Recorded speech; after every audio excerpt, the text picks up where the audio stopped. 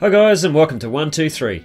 In this video we will show you how to transfer data from your Oppo phone to your new iPhone.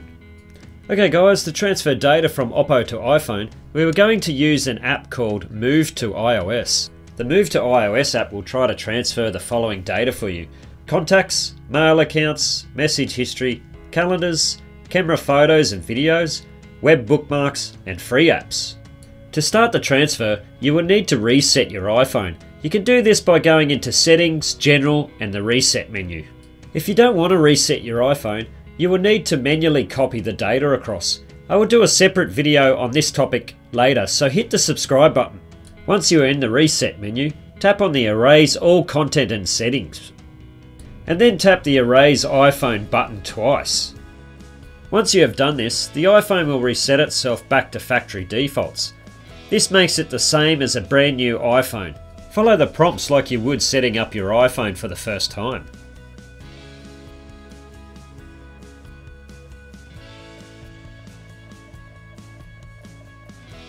Go ahead and add your iPhone to your Wi-Fi. Make sure it's the same Wi-Fi that your Oppo phone is connected to.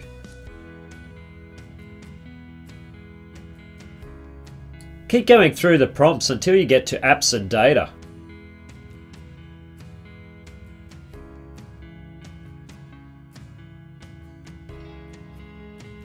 Once you get to and data, tap on move data from Android and tap continue. Next up, you will need to download the Move to iOS app from the Google Play Store. Move to iOS. I have already downloaded the Move to iOS app, so I just press open.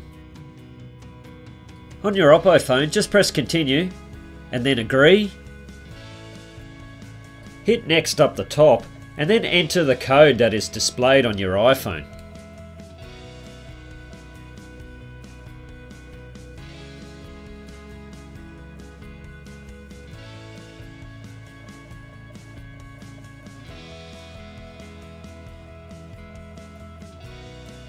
You should then see a data transfer screen.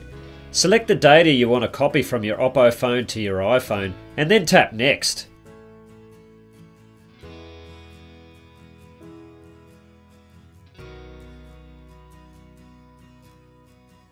Once the transfer is complete, just tap done on your Oppo phone.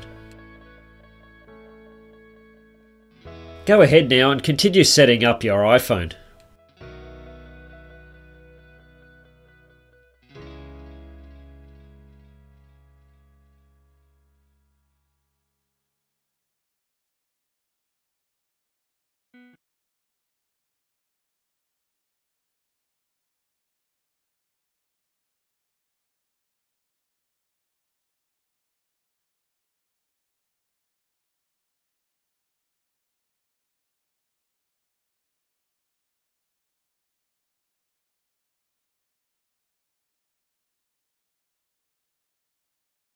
This last part of the setup will add the free apps to your iPhone, so go ahead and enter your Apple ID.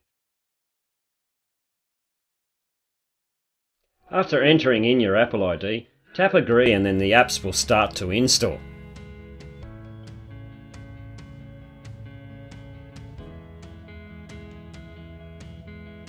Check your iPhone and all your data should be copied across now. If you are missing something, check the 123MyIT future videos for manually copying your data to iPhone. I will put links in this video's description. Also, don't forget to check out my other videos such as fix the could not communicate with device error and do me a favour, hit subscribe and smash the bell icon.